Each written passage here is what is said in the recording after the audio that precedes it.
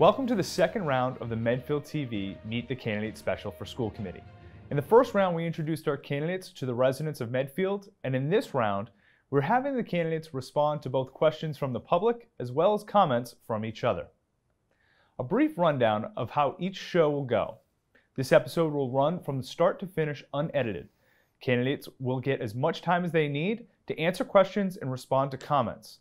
We'll open with the questions from our viewers. They were selected based on submissions from Facebook, and we selected the most liked comments as of the deadline of March 8th. It should be noted that Medfield TV broke any ties. We will then have candidates respond to comments made during the first round of interviews. From each candidate, you will see not only the clip, but the candidate's response unedited. Today, I'd like to welcome incumbent to the school committee, Leo Brehm. Leo, thank you so much for joining us today. Thanks for having us, Brett. Yeah, this has been a uh, very active uh, race, and so we've, we've been seeing a lot of you, and we're very uh, excited to have you back in studio. Thank you for taking the time. It's really great to have this kind of service from Medfield. Absolutely. So, like I said, we're going to start with questions from our viewers. You know, you saw the Facebook post, you saw some of the questions out there, so we'll start with some of those. Sure. The first one comes from one of our top fans, Lauren. It says, "If elected to the uh, to the committee, how will you work towards making our schools more inclusive for all students?" Sure. I mean, and I and I took a few notes because there's so many ways that a school committee can support the administration in doing this. You know, first off, you know, um, is having I'm you know I'm a big proponent of smaller class sizes, and that allows for teachers to have you know really strong, attentive opportunities you know with students um, to include them in more um, more learning opportunities within the school within the school day and get to know them more personally and be able to personally uh, meet them where they are for their learning. You know some of the other things that are important are special ed programs and our student support programs right? Not everybody is on is in special ed um, that requires extra learning uh, support but there's other folks who need more learning support for whether it's particular interventions for reading or math um, or science of some kind, and we have to make sure that we have those specialists there to support those uh, those students. Um, more importantly, this year, um, or especially, is our guidance and uh, school psychologists this year. You know, because of the pandemic, we're absolutely going to need to have those people uh, available um, to make sure that the community is meeting all, you know, all of our learners uh, together. And more traditionally, um, you know, ways of being more inclusive to everybody is having program offerings that um, can meet all the different interests of students. You know, we we have a very um, great athletic program here in Medfield, as we all know.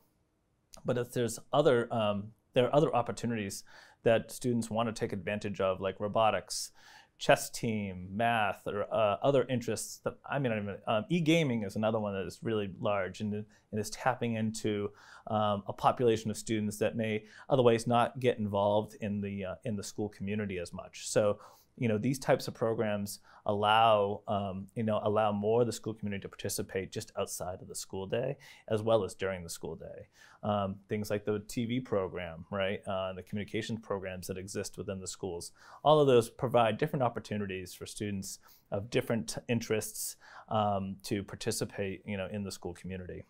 You know, some of the other things are um, even more uh, finite are uh, programmatic pieces like um, more honors and AP level course offerings and more sections of those so that there's less competition to get into them and allows students to meet the challenge of taking those more advanced courses. And that requires, you know, strong instructional leadership um, and it requires the support of both financially from the town and, uh, and the school board to prioritize those things um, you know, within the budget. So most of those are things that are really important, um, you know, particularly in those upper levels. And then at our lower levels, it's you know opportunity to get into those classrooms. Aside from class size, it's our early childhood programs, uh, full day kindergarten, and making sure that our school buildings can support these type of pro these these programs take space. So you know, making sure that we're thinking strategically in the future that our programming is only going to expand and we want our schools to be better. So we need to plan on having, you know, good space in our buildings to be able to run these programs. Otherwise, uh, we're just not going to have the space to do it.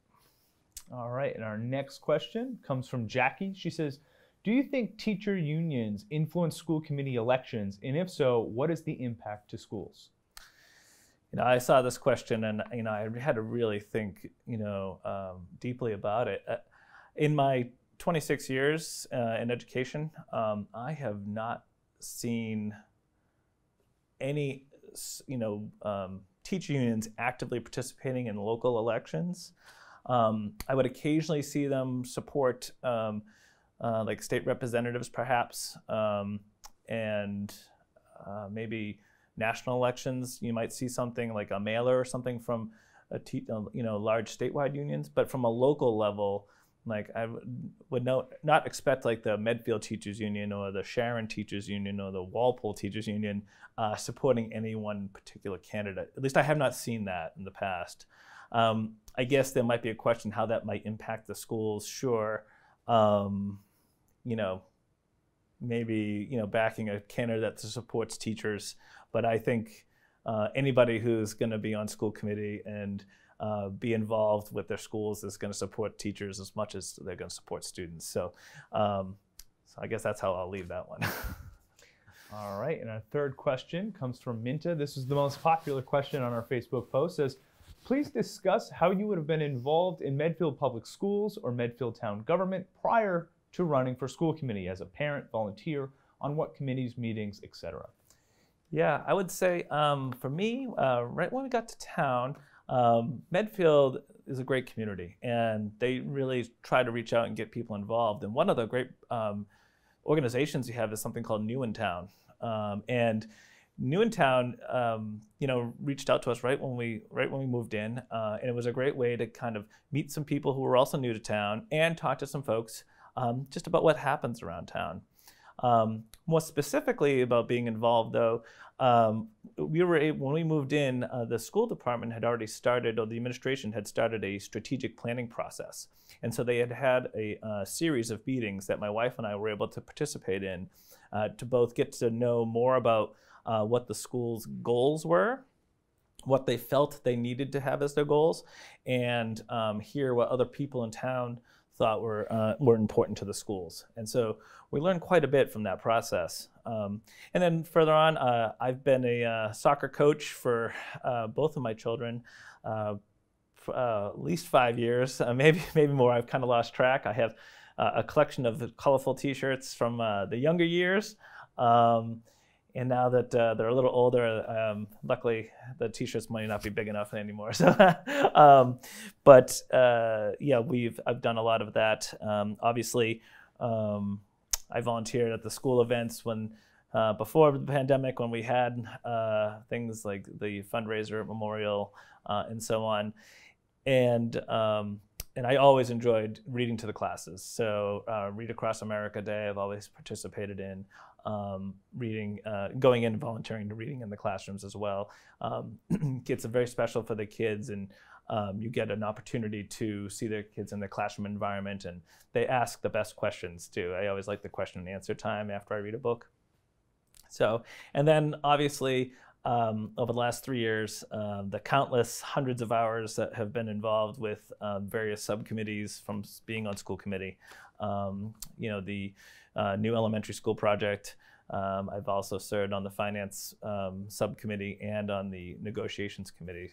Um, as a matter of fact, that was probably one of the first things I did uh, was around negotiations. Um, so getting to know what, you know, how our, our um, employees, uh, what they're up against and what they're asking for, um, and a better understanding of what's happening right here in Medfield with those with those groups of people. So very important.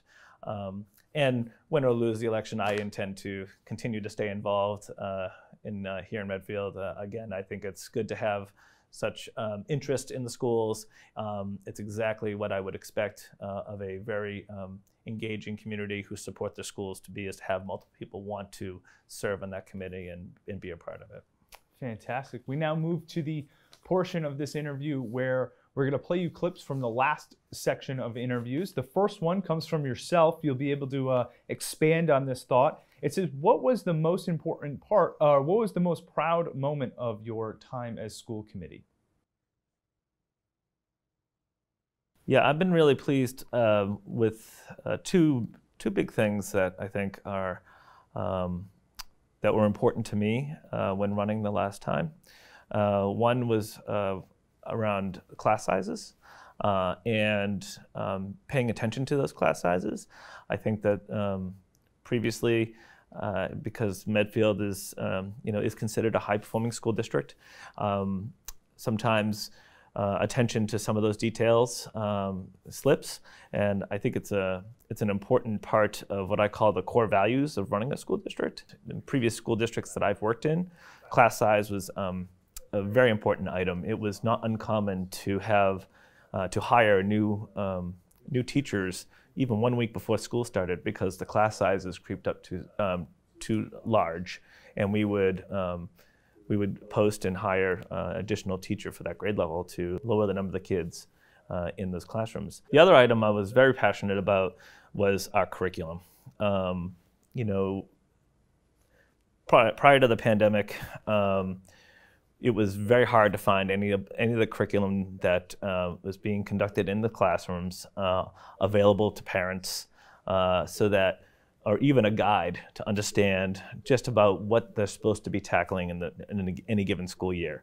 Now, I, being a lifelong educator, I have an idea of what the big ideas are um, across all subject areas at every grade level. Most parents do not, and it's something that the schools should provide is an organized uh, idea to parents so that they can help support that learning at home. Uh, in the two, my two previous school districts uh, I spent most of my career in, uh, also considered high performing districts, that curriculum uh, being available was extremely important because we want to enable parents to be able to help support what's happening in school. Go right ahead. Yeah, I, you know, uh, I'm still proud of those. Uh, I would say, um, and I guess if I was to add uh, anything to it, I think it's getting through this last year, um, and uh, perhaps I didn't give it enough due when we recorded that. Um, but you know, trying to maintain um, a focus on safety and support for our students during this past year. Um, and doing what was best for the entire community, uh, keeping our students, our staff, um, and the people at home safe with the information we were given uh, to make decisions at the time, all throughout the, the process. You know, and I say that now because I believe I was probably pretty happy at that time um, we were planning our return, and now we have solid dates uh, to return to. And um, you know, I think last Thursday when um, Dr. Marsden announced it, uh, I wasn't the only school committee member that was probably holding back a tier or two um, to announce that we were sending our, all of our kids back. And um, grades two to five will be back next Monday, um, which is awesome. And then middle and high school uh, shortly thereafter in the coming weeks. So, you know, um, you know, I think that was one thing that about working as a team. You know, um, working as a team this past year has been one of the most important items um, in order to be successful and stable. And there's been other communities that I've unfortunately seen that have not done as well, and it's had an adverse impact on their learning community as a whole. Um, and so I can't speak enough to the professionalism of my colleagues in the administration uh, and um, and the other town boards like Board of Health and Board of Selectmen and what they've done uh, as a unified team um, for the entire town and in particular the schools. So uh, I think that's probably um, one item that is important. You know, and, uh, and I'll reflect on that. You know, um, one of the other questions didn't quite make it was someone commented on the um, the lack of, uh, or, or, why were all the votes uh, unanimous, you know, in school board, you know, in our school committee in the past seven years. And I had to really reflect on that quite a bit. Um, and, I, the only thing that could come to mind is, uh, is the amount of communication that Dr. Marsden puts into with us um, and that we do with each other on a personal level um, and the conversations that we have about what's best for learners, you know. Very few of our votes um, make earth-shattering shifts um, in in the day-to-day of our students, except for the larger ones like programmatic um, importance and prior, prioritizing programs and what programs we move forward, um, and of course the budget, right? Which ones we prioritize within the budget. Those are probably the largest. Most of our votes are about um, about ratifying minutes uh, and accepting donations uh, if you watch our opening and closing of the meetings. So those are the bulk of our votes. Um, but the ones that really mean something, as you know, like the um, the financial ones that have a large financial impact on the taxpayer, we start talking and deliberating about that, um, you know, in the end of the calendar year, like in 20, you know, we started talking about that in November, December for this coming July 1. And um, and that happens every year. I mean, this year is just because of the pandemic, we didn't start talking about it earlier. You know, school districts start planning their following budget in October of the school year. So for the next year. Um, and that's standard practice so that uh, the school committees and the decision-making bodies can um, can hear what's important and um, take those things into consideration. Uh, you know, as they're um, as they're seeing what the town can afford for the schools, um, what bubbles up during the school year, uh, and of course, what is the culture and, and, what's important to the community. Things like class size or things like certain programming, and you know, when you have to pit programs against each other, you have some pretty tough decisions to make. So I apologize. Uh, we did just have a little system error, so we fixed that, but we're going to pick right back up. This is the second question. It's from Lauren Lilligren on what two improvements she would make if elected to school committee. So th there's a few things there. Um, one is that at least this past year and and perhaps in years prior, we've approved and ratified contracts that I don't believe were in the best interests of the children and families of Medfield. The existing school committee has seven years of unanimous votes. And I joke all the time, my family of five can't decide what shape of pasta to have. So I struggle with how five adults from different households who don't speak outside of school committee meetings um, have so few follow up questions and always seem to have the same opinion. I don't see the discord that I would expect. I don't see the follow up questions. I don't see the, the debate um, that I would expect to see uh, in a group of five people managing a, a budget of $40 million with all these competing interests. The second piece is we do have six open meeting law determinations in Medfield specific to the school committee. And, you know, open meeting laws are complicated and, and some of these are, are small infractions. But to be clear, these aren't complaints. These are the actual determinations made by the AG's office. The Board of Health doesn't have any. Um, the uh, the selectmen don't have any, and none of our surrounding towns have, have any. So that seems noteworthy to me. Uh, it also comes at a cost of $40,000 to taxpayers, right? Because in all of these cases, the existing school committee has chosen to fight these complaints versus simply admit wrongdoing, right? It's complicated, everybody makes mistakes and, and move on. So I think that's concerning to me that we're sort of not I'd like to, to spend Medfield's money um, as I would as I'd spend my own, and I don't know that I would spend forty thousand dollars on a lawyer if, in the end, I knew I had made a you know an ultimately small infraction with with really very minor consequences, if any consequences.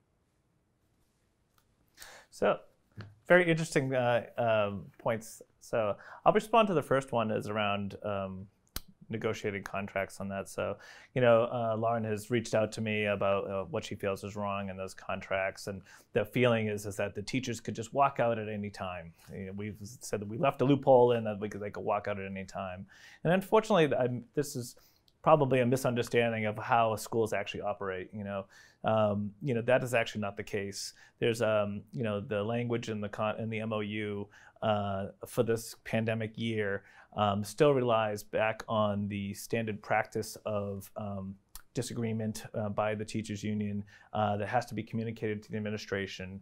And then there's deliberation uh, about what to do to whether or not the problem can be solved. And that is pretty standard language um, you know in those negotiations with uh, unions particularly in teachers unions. So unfortunately i think there's a misunderstanding um, you know on lauren's part about what that contract actually said. You know, as to the open meeting law violations, um, you know, when uh, all six of those uh, particular uh, things came from one certain individual in town, um, and that certain individual seems to have a track record of um, wanting to um, test the boundaries of, of this, uh, you know, of the school committee, um, and probably hasn't dug deep in the Board of Health or on the selectmen's minutes as much as this person um, keeps a, a hyper focus on ours. Um, and as far as the legal fees, you know, up before the open meeting law complaints came, uh, we carried a very small, much smaller budget, you know, for the legal fees. Um, it's a pretty complicated process to go through, which you know does require. If you saw any of the responses from uh, our particular attorney to those particular requests, she is right. They are all minor. They're they turn out to be minor items. Um, but when you're dealing with the AG's office and a bunch of lay people when it comes to the law, uh, the people who are elected to school board are um, not lawyers um, right now. Uh, we have had attorneys on before. Um, Chris Morrison was an was an attorney, uh, and even he supported uh, the fact of having the right person look at these particular complaints. So um, I guess that's about the explanation of those. Uh, I'm not sure if the, the people of Medfield should be worried about their schools as a result of either one of those.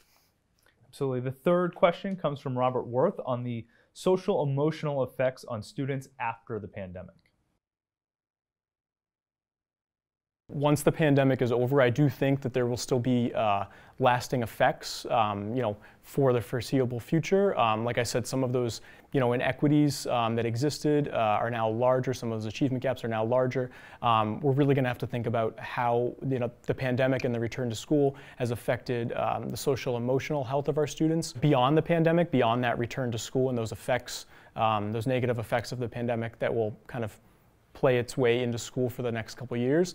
Um, you know, I do think that those things are still very important. The social emotional health of our students, especially in a high achieving school district like Medfield, um, is always a top priority for me.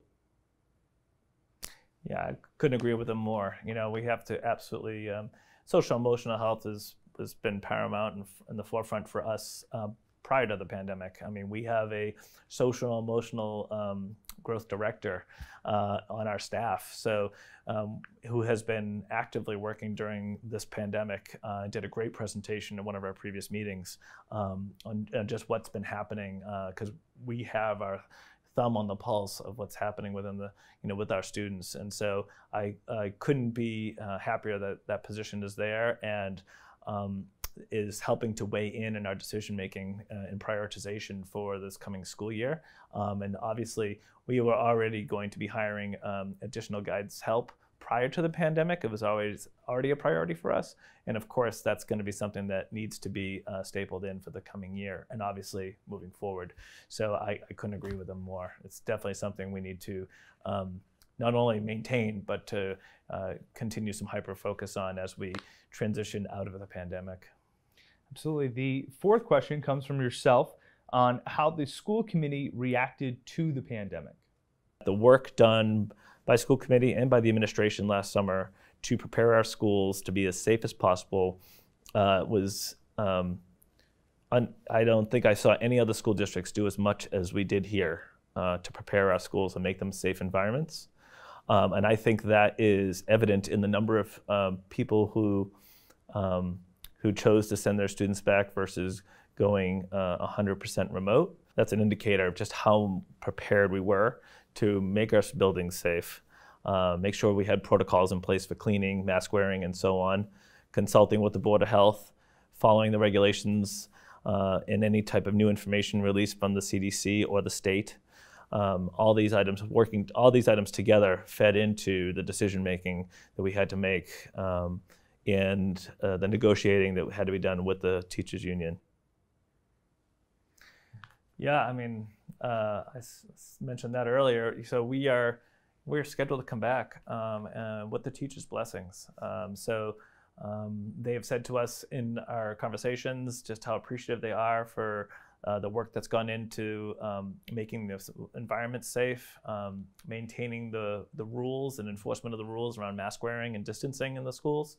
Um, and so, I, you know, I maintain we did a, um, you know, the best we possibly could and had a really strong outcome. Um, you know, with this return, um, actually on my way here, I was just listening to public radio on the way here, and there was concerns about um, upon people returning having to quarantine again. Um, because or having to, subgroups within the district having to quarantine if someone is found positive.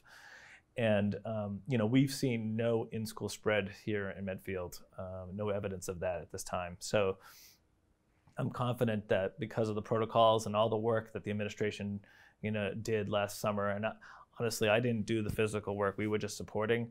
But um, you know, the constant communication um, and the um, flow of information that came from administration from last summer throughout till now uh, has prepared us as a community to go back with the confidence that we need. Um, and I think that's part of it. It's, it's being able to have families and teachers know that the administration and ultimately the school committee have their best interest at heart. And so, um, you know, we're all one one community, and so we're not about to get school back in if it's not safe, if we don't feel it's safe, or that the risk is um, so low that um, it's worth doing so. So I'm proudly sending my children back next Monday. I I fully appreciate those families who have um, have concerns and extenuating circumstances, and we will continue to support those folks. Um, and as you may have heard, we're also, if some students do have to quarantine, uh, the option to have that um, Zoom into the room, the window into the classroom is still going to be available to those students who have to quarantine.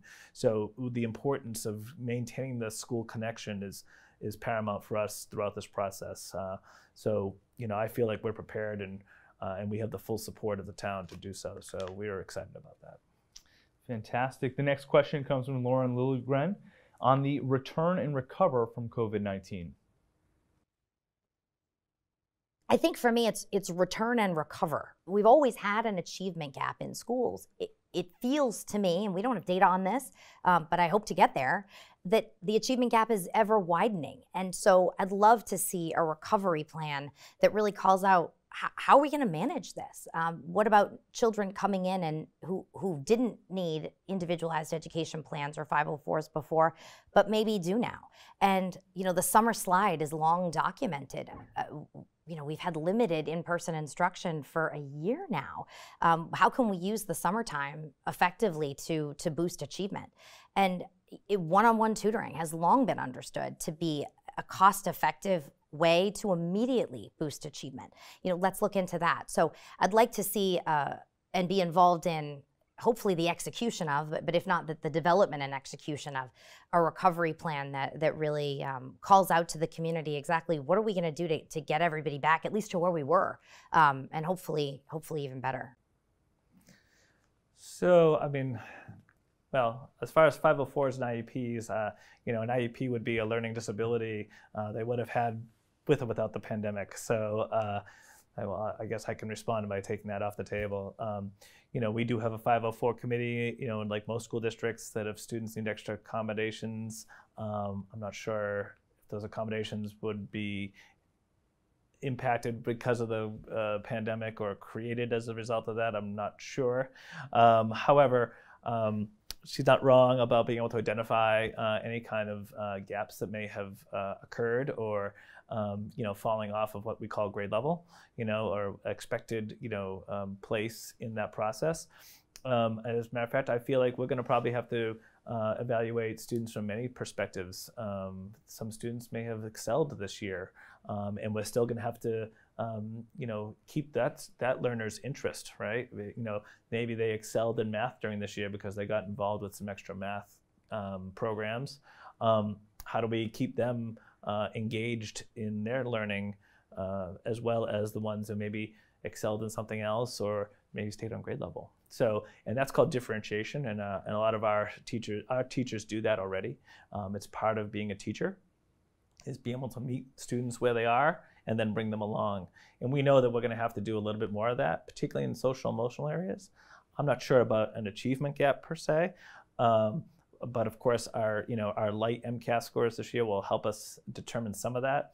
And of course, um, you know, a few about two or three meetings ago, Dr. Marsden talked about some of the uh, benchmark assessment information that was coming back, um, and we've asked for uh, Dr. Powers to come in and give us a presentation uh, about some of those benchmark assessments. And for those who don't know what that is, that is an assessment, uh, a standardized assessment that's given multiple times throughout a year uh, so that you can measure growth uh, in certain skill areas.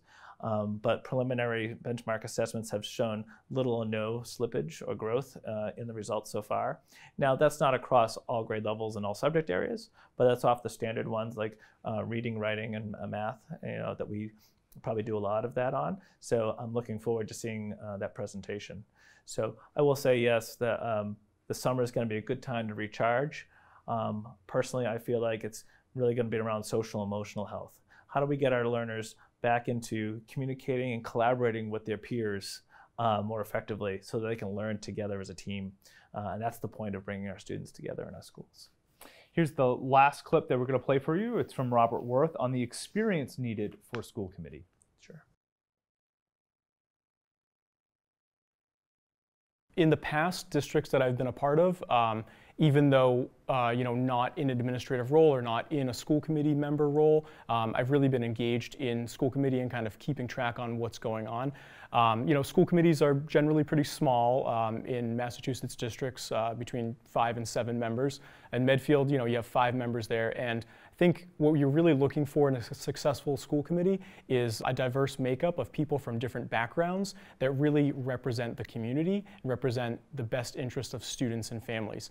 Um, in my current role, I'm able to do that very well and think about how schools run, the budgetary concerns, um, the day-to-day operations, curriculum, and the way that we implement it. Um, and by being in schools, working with students in classrooms, on the phone with families, engaging in the community every day in a different district, I'm really able to see kind of how that works and sometimes how it doesn't work. Uh, and I think I bring that knowledge to the role of a school committee member. You know, I don't think it's a necessary prerequisite to being a successful school committee member, but I surely think it helps. Uh, and I think that every school committee really deserves someone who has experience in education, in schools, um, and really can call themselves an educational expert. Yeah, I couldn't agree more, Brett. Um, Rob's not not wrong. I think that having a healthy understanding of what's happening in schools and having a lot of experience in school districts is has been very helpful for me. Um, you know, I've spent 22 years or 23 years in schools, public schools.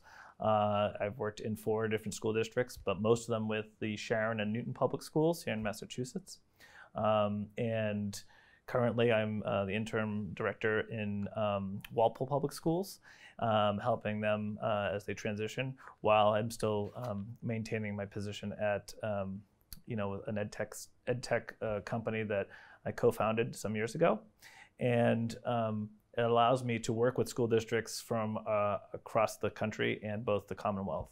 And I would say that the experience that Rob is talking about um, has been very much so uh, helped me uh, on my role with the school committee, um, and as well as, um, at least I feel like, has helped um, you know explain things and how things work to the other school committee members who have not spent a lot of time in the inner workings of how school works or the interaction um, between, say, the teachers union and the administration, for instance, um, or what it really means, how long something's going to take to implement because of just understanding what school culture is like.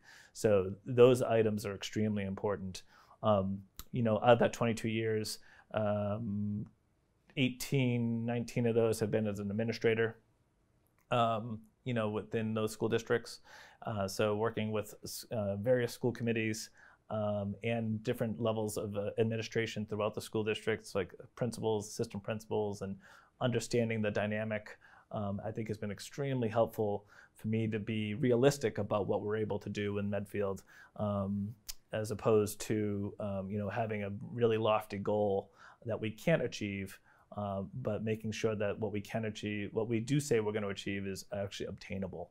So, and I think that's um, extremely important. And um, no, I don't think it's um, requirement either. I, will echo that from Rob as well. I don't think it's a requirement um, because I feel like it's healthy to have other approaches um, on the board, you know, on the committee, um, so that you know, because we're all representing people who don't understand the inner workings of a school, and I think that's one of the things I keep uh, in the forefront of my mind is that not everybody understands how a school works. And, you know, and particularly now through the pandemic, we've seen our parents who don't work in schools having to become part-time teachers. Um, so, you know, I understand the stressors, and um, I think that that is um, one of the reasons why we were so focused. We, we've been so focused on how to support the learning at home and how we're going to um, you know, right the ship, if you will, or, or bounce back from this even stronger than before.